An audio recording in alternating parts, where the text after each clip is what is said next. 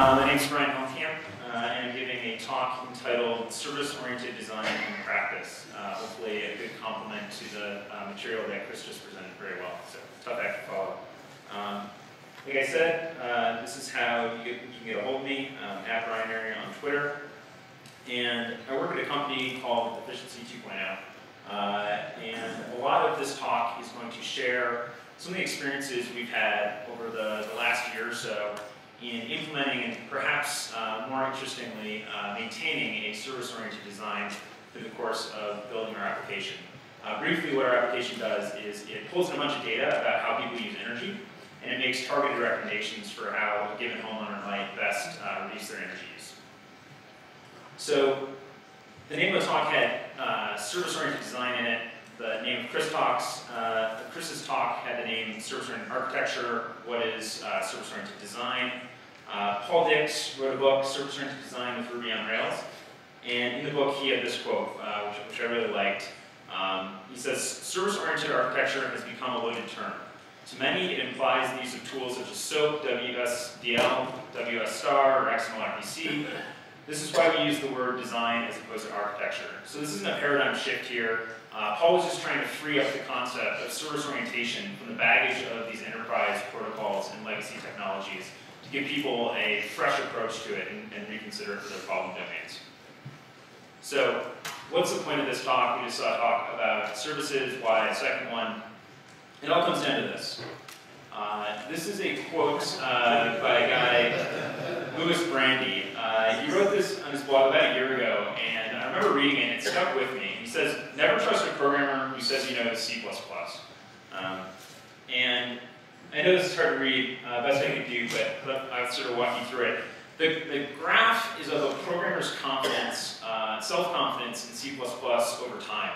So in the upper left, uh, the programmer has decided that they know C++, uh, that C++ is just like C with classes, which is awesome because everyone knows objects are awesome, and they have sort of conquered C++ and they're going to use it for everything.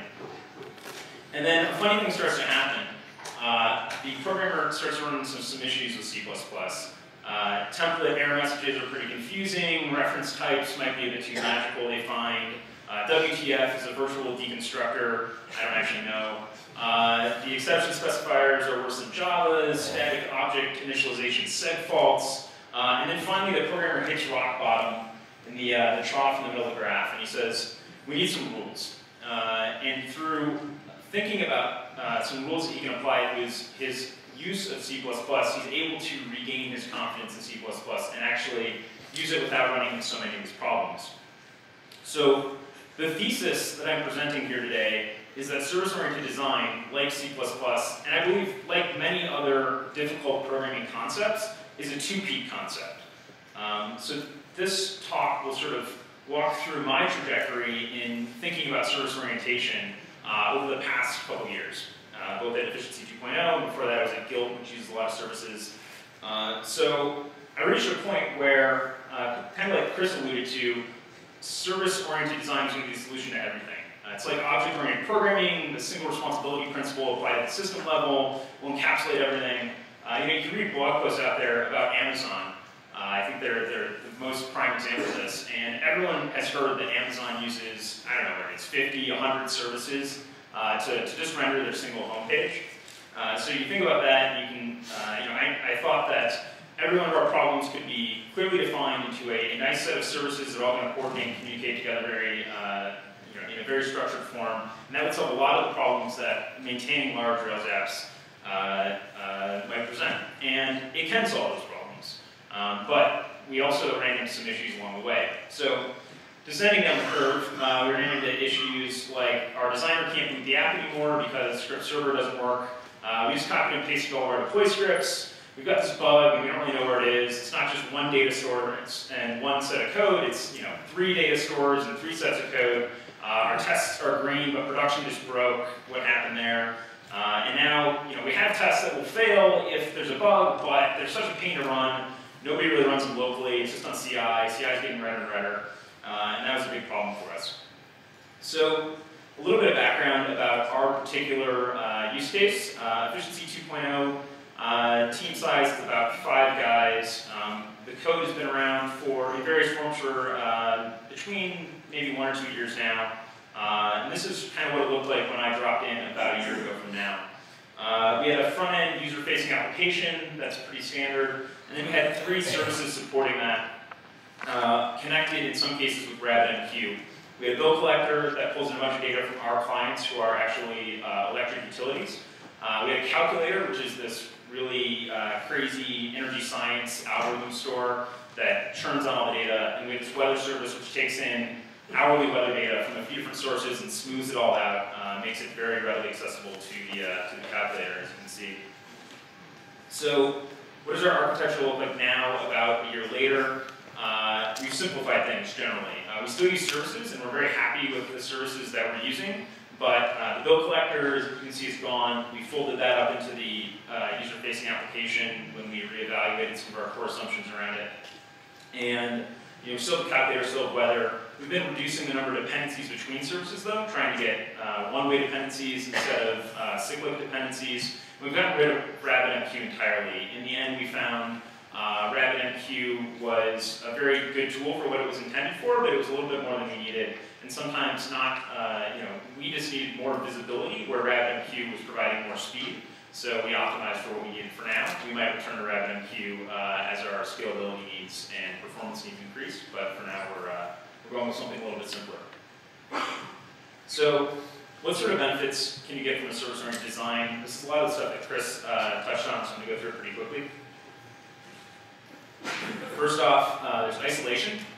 So this is one of the, the, core benefits of services, and all the other benefits kind of in some way flow from this. Um, but just like you might expect, uh, using a service-oriented design, you can take components of your application, break them down, break down their data needs, break down their tests into smaller units. And as we all know, smaller units are generally, by default, easier to maintain uh, in programming, uh, unless uh, there are sort of other factors that, are, that might make them more difficult. Um, robustness, uh, so this is kind of like the encapsulation principle. Uh, if you had a well-defined API, it's probably HTTP, REST, JSON, all those good things if you're a Ruby programmer that you like. Um, you can change out anything that's going on under the hood without having to modify any of the clients. So in that way, your service-oriented design might be uh, considered robust to change. Uh, scalability, uh, you can optimize different sections of your application for different operational characteristics. For example, write-heavy uh, data storage versus read-heavy data storage. You could use two different data stores wrapped all over HTTP. Agility is kind of an interesting one. A lot of people don't think about service-oriented architecture as being a uh, something that increases your agility. They it's tend to think uh, most people think it sort of goes the other way, but there are some interesting ways where it can increase your agility. For example, uh, in maintaining our services, we wanted to start looking at upgrading our Ruby VMs to Ruby 1.9. We're able to do that on uh, smaller increments, and that allows us to get some code out of Ruby 1.9 faster, and probably get the entire transition out faster because it's not so daunting, so in that way it allows us to be more agile. Uh, interoperability, taking disparate systems and connecting them together. Uh, Twitter's a good example. They have a bunch of Scala services that provide HTTP uh, endpoints that the Ruby code uses. You can speak a common language. And then reuse. Um, so just that you can take a service and maybe you've got a public API, you can start using that internally or vice versa, uh, but you've got a component, you can start thinking about how you can apply it to other problems. So why did we use services originally? Uh, we were looking for reuse, we were looking for uh, isolation, and generally we just wanted smaller components to be able to deal with. But the rest of this talk is primarily about everything after the, the tip of the curve. Uh, so I talked about briefly about five problems we ran into earlier. I want to share these problems with you, sort of describe uh, how they manifested themselves to us, what we did about them, and hopefully if you're maintaining a service-oriented design now, uh, this can provide some, some tips on ways that you might be able to make uh, your day-to-day -day, uh, maintenance of that system better. And if you're not maintaining service-oriented design, uh, one of my goals is to try to sort of give you a, a whole other set of considerations, which might be a little less obvious to weigh in your decision of whether or not you want to apply these concepts. So I, I listed off the five problems before. They really span four different areas. Uh, these are kind of bread and butter areas for any application that's being maintained. You've got local development, you've got deployment, uh, operations, what's happening once that code goes out to the server and it starts processing requests in production, and testing. So the first problem we ran into, as soon as we introduced our first service, is that our designer couldn't run the app anymore. Uh, so we have a guy who, who knows his way around a, Rails repository. Uh, he writes HAML and Sass uh, for us in addition to being awesome at Photoshop, that sort of thing. But with services, suddenly seeding into a directory and running script server doesn't work. I mean, it's a very quick way to get a, a very nice looking 500 page, but it wasn't going to cut it. Uh, and so long as our designer couldn't complete the app, that meant we had to fix all the, uh, you know, the IE incompatibilities that he would otherwise take care of for us. So this was a problem that needed to be solved immediately. Um, so, so what did we do? Uh, we, we created a single command loop. Uh, we have a, an E2O command, and it has subcommands. So E2O start uh, will boot up the Efficiency 2.0 app. Uh, the whole idea here is, is pretty straightforward. Uh, it's no matter what you need to do to be able to start the app at this point, do it, and just open the, the app working in uh, my local browser. That means cloning repositories, running bundler, running migrations, booting uh, unicorn processes in the proper order. All that is encapsulated here, and if this thing doesn't give you a working app, then it's broken and we fix it. So we put that into a package called E2O CLI. This is a private gem that we maintain. It's hosted on our private Ruby gem server. And here's a sampling of the, the subcommands that it has. Um, E2O start is, is pretty obvious, stop. Uh, a couple more interesting ones, or, or, one particular more interesting one is E2O inventory. Uh, this is one I added one day, which I really like. And if I run E2O inventory across all of our repositories, it will list out all of the code which has been pushed into master but hasn't been deployed to production. So even something as simple as saying, well, what have we worked on that we haven't actually shipped yet gets a lot more harder with the service-oriented architecture because you have to do that n times. And doing things O of n is a lot uh, less efficient than doing things O of 1. So we built it on Thor. Uh, I shamelessly ripped code from the Engine CLI and the Heroku CLI to make this work. Uh, we were able to get going in about a day, and then we've been adding to it since. So that's one problem that we faced, and that's how we addressed it.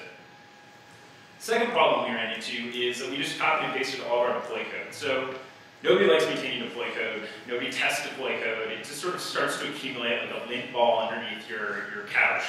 Uh, and then when you add your first service, the first thing you need to do is basically cp-r that config deploy directory into your, your new application. And that's bad, but it's not actually the worst part about it. Uh, the worst part is that now they're going to start to diverge in very subtle and potentially uh, destructive ways. So cap, uh, you know, restart might do something over here in this directory, but it might do something subtly different over here. And that can be a big problem when you're looking at the, the parts of your code base that actually are going to make changes on your running servers. So what do we do about this? Uh, we package our deploy scripts into a gem. So we have another private Ruby gem. It's called E2O cap. Uh, here's a directory listing. And you can see it's nothing special. We put everything in the E2O subdirectory. It's got a recipes directory under there. And then for each sort of concern we deal with uh, in deployment, we have a Ruby file that we use. So this is very similar to like the EY CapGem, which many people are familiar with. You can do this for yourself if you have multiple applications you need to maintain and you want to get your deploy scripts just right. So the nice thing about this is by abstracting away all of the logic, which is customized for us, it's exactly how we want it, efficiency 2.0, not just our web host. Um, but now in our cap file, uh, this is an entire cap file for one of our services. So we just uh, use the, the old-fashioned gem command to require the gem. Right now we're using uh, version 0.10. We loaded the recipes, and then we just declaratively lay out what is special about this specific application uh, as it relates to the other applications that we need to deploy. So, for example, the Hoptoad API key is different per application, so that when errors get reported to Hoptoad, they get aggregated into the correct project. So that's a configuration variable. When we find that something needs to differ across uh, different projects, we create a configuration variable and bump the gem. So, into some problems that have a little bit more meat on them. Um, what's causing this bug? Uh, you've got some, run across some screen, it's not showing the right number. There's a lot of different places that that issue could be coming from, different data stores, different uh, code bases. Eventually we decided we needed some more introspection into what's going on in production to be able to see what's going on. So uh, we created a gem. This gem is actually public. It's up on GitHub, it's on Ruby Gems. It's called E2O Ops Middleware, and it does a few things which we found very useful in maintaining our service-oriented architecture. So if you run a curl to one of our services, this is our calculator service and staging, uh, we're getting it through the load balancer, it adds a few headers here which are kind of interesting. First, it stamps everything with a transaction ID. This is basically just a GUID. Uh, it's not useful in and of itself, but it's useful when you start to look at it in the perspective of the whole system, which we'll see in a second. Also, we we had a serve by header, so this gives the host name, uh, in case there's something that might be misconfigured on one host and we've got the response. Uh, we don't have to go through fishing around trying to recreate it by checking each server one by one. You know exactly which server was generated by. And third, uh, this is a really useful tip, I think. Uh, we put a revision header in every response. It's easy. Uh, we cache it as a, a, class variable, so it doesn't have to you know, be looked up on disk every time. It doesn't slow things down. But it's really useful when you just ran a request and you're trying to figure out, wait, did that deploy finish as that was running, or was it the, you know, the old code? I'm not really sure. This will always be right. Um, like I said, it's open source, and everyone's welcome to use it, fork it, uh, report bugs, pull requests, all that good stuff. Um, so the other side of the coin is, when we're using our services, we wanted more detailed logging. So this is a condensed version of a single request uh, that's processed through our front-end facing application. Uh, so you can see the, the user does a get for a specific page, and then there's some lines in here which are not uh, normal for a typical Rails application that I'm going to kind of walk through. The first is the transaction ID. So that was the same transaction ID that goes into the header, the X transaction ID header. Uh, it also gets logged in the log in both the services or in the, the application, whichever, uh, whichever code-based service that request is recorded in that log. And then it gets a little more interesting. For every request we make to services, we actually log information about the request and the response. So generally, we don't have our logging turned up enough where we log, look at every DB query, because there's a lot more of them. But for services, we found it important enough that we actually do want to record every request and response. So you can see the HTTP method, the URL, and then this is the response. Uh, and what we do is we record the HTTP status code that came back. So if that's not 200, I'm already going to be a little anxious. Uh, the server it came back from, in case that might have uh, an impact on the response we saw the revision, uh, in case this is what we're looking at, we want to know what code served that up, even after we've deployed other code since then. And then, this is a little bit tricky, but we record the transaction ID that was generated by the service. So if the calculator included a transa transaction header that says it was transaction ABC, that's what's recorded here. And then the transaction ID you saw at the, on the second line is actually the transaction of the user-facing request. It's essentially a tree structure where one request can generate other requests, but by keeping these cross-references, if I'm going to go say, uh, look now in the calculator logs and say what happened when that request ran, I'm just going to copy and paste this transaction ID that's highlighted and grep the calculator production log on the app02 server to find the, the output for that. So the next problem is a pretty big one, uh, and what we found was by moving to services, we had more code bases, they each had their own test suites, but every once in a while, we would have a bug in production and our test would be green. And we care a lot about the way we're testing things. Generally, whenever we see, uh, we feel like we have a bug, but we don't have a failing test, we view that as a failure in our testing approach or, or our test suites themselves. So we try to uh, dive into that and look at what's going on. So what would happen? Um, a simplified diagram of uh, you know, a call to a service, you have an application, you have a client, which is maybe just some classes in the middle. Active resource could be a client. Uh, it just knows how to make HTTP calls to your service. And the interfaces break. The arrows, something uh, you know, associated with those arrows in the middle would stop working. So we thought a lot about what we can do about this. Um, there are some obvious solutions. One is to do all of your testing through the entire stack, right? You can boot everything up, uh, just like you do on a staging server. You can make requests to it with uh, Selenium, and you can test every piece of your app's functionality like that, and be sure that it all works together. That, that is an option. Uh, it has drawbacks, um, but, it, but it does work. Uh, we took a little bit different tact, uh, where we tried to sort of layer testing together in order to give us confidence without uh, giving us such a, a large uh, hit on our maintenance. So I'm going to talk about that a little bit. The first thing we did was we made sure that we're versioning the client with the service. So this is the, the tree of our, our weather service. You can see at the top level we have a client directory and it's just laid out like a gem. Uh, this was really important because for a while we had one client not versioned with the service it was used for, and it required us to make changes to two repositories which had to be kind of synced up uh, to, to, make sure that everything worked together. So moving things in, it's one less repository, and you can make the change to the, the server and the client in the same commit. It makes it a lot easier to read. So the first thing we do is we test the client with the service. So back to that diagram, you can sort of just draw a big circle around the right side of it, uh, and going to uh, make requests from the client to the server, make sure that the responses are what we expect. So, how many of you have heard of Artifice? A few? Okay. Artifice is really cool. Uh, it's kind of a little bit mind-bending when you first think about it. But what Artifice does, so a library by Yehuda Katz, it's pretty simple, it's about like 70 lines. Uh, but they're Yehuda Katz lines of code, so that's like 700 lines of Mortal programmer code. Uh, so it actually, when you call activate with, it replaces the net HTTP constant with a totally different thing.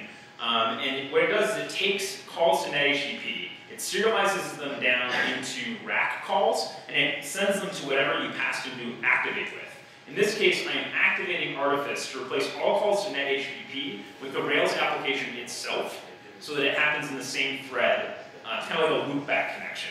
But what that means is we don't have to boot any extra process to test the client with HTTP effectively against the service itself. So that, that, that's pretty cool. It's worth checking out if you do anything like this. Um, but we just put some records in the database. The calculator user is the client class. Uh, and we instantiate one of those and we check that it has an association that has three bills that come out the other side. So that's testing the client with the server. We test the app, or it could be another service, but whatever needs to depend on the service uh, with test doubles. So this is pretty straightforward. Um, we're only testing at this point the left side. Uh, and we might have a test on our application side where we need some information, say electricity usage from our service. Uh, and we just use a simple RSpec mockup. It, there's nothing special about that. Um, so at this point, we've tested sort of the app, we've tested the other side, but the whole thing could still break.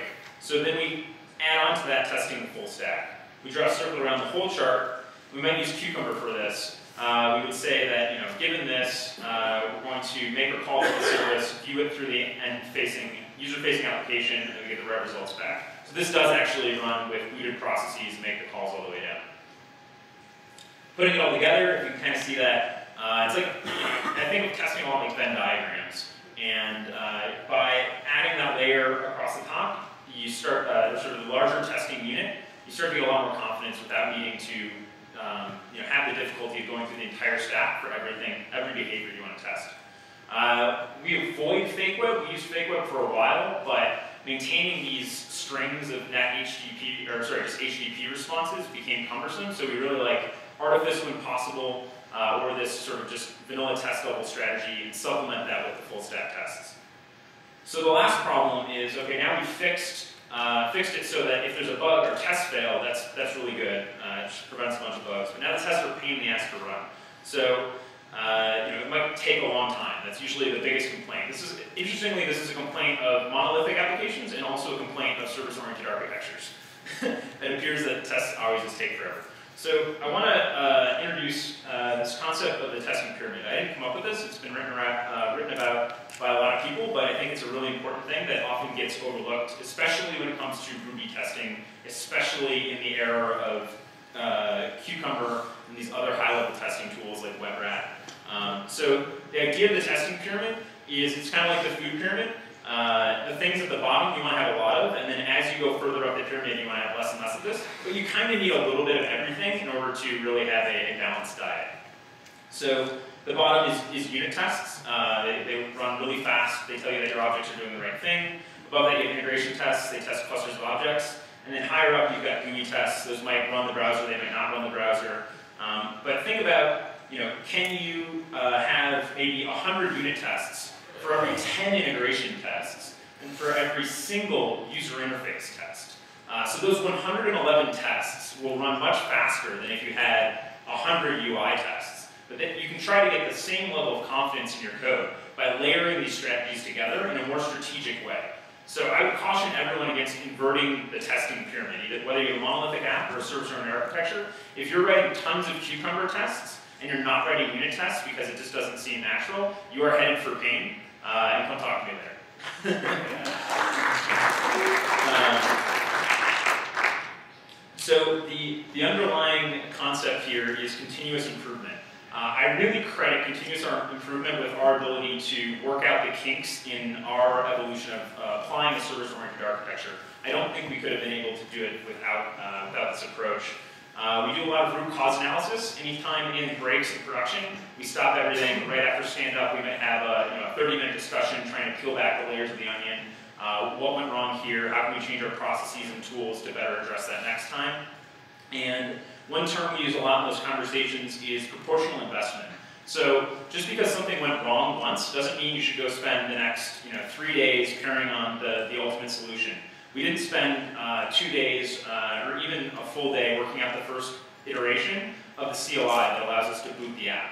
What we did was we created a very basic version which, which worked once or twice. Uh, and then we said, well, as a team, anytime our designer runs E2O start and it doesn't start, we're going to invest an hour at that time. So in the beginning, we did that pretty frequently. Uh, over time, it became less and less frequent. It might be something even more esoteric that would cause it to fail. We would fix those bugs uh, as they came in rather than trying to solve them all up front. So it was a proportional investment based on the, the frequency of the problem and the severity of the problem. The problem might only occur once, but if it's a really big deal and it happened in production, it might be worth investing a few days in resolving it, but try to be proportional. Uh, the other concept that we try to apply is that development is like production.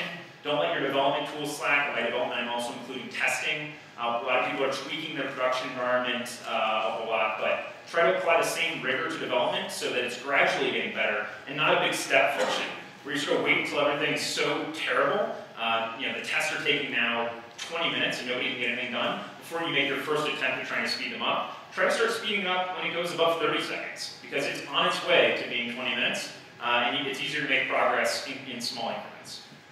So our key takeaways uh, related to applying service-oriented design to our architecture. Uh, first off, there's many hidden costs. Uh, none of the things that I described, the solutions that we implemented, were things that we planned on uh, when we were looking at sort of how we're going to lay out the systems. They can be okay, but it's something that uh, is not necessarily obvious when you're looking at making these decisions. Uh, on the other hand, it can still be worth it. We're pretty happy with the way the calculator service has worked uh, and our weather services work, and that's why we maintain them like that today. We haven't had to make many changes to weather service because it changes it, uh, it changes to happen at a different rate of change, and it has allowed us to insulate a whole portion of our architecture and not worry about it while we're making fast changes to other areas of the stack. Uh, like everything else, service-oriented design is uh, can be can be very good, but moderation is key. Don't you know lay out your entire application in terms of how many services can be used to solve this problem. That's probably the wrong way to look at it. You'll end up with way too many services. You'll be heading down the uh, skiing down that curve that I showed at the beginning of the talk, and we'll uh, you know, uh, getting to the other side as quickly as possible is really the key. Uh, finally, address frictions as they occur. Uh, don't let little problems build up iterate with your team on your process and how you can solve problems. Your mileage may vary. I know teams that have no services. Uh, actually, Etsy is an interesting example of this. They, they try to avoid services because they decided that the, the costs associated with them are not worth it. Instead, they invest a lot in making maintenance of their monolithic architecture uh, a lot easier. So they've gone one way. I've also seen teams that have a lot more services and are able to deal with that uh, you know, very well. So it's different for every team. Just try to keep a close eye on what's working best for your team. Thank you.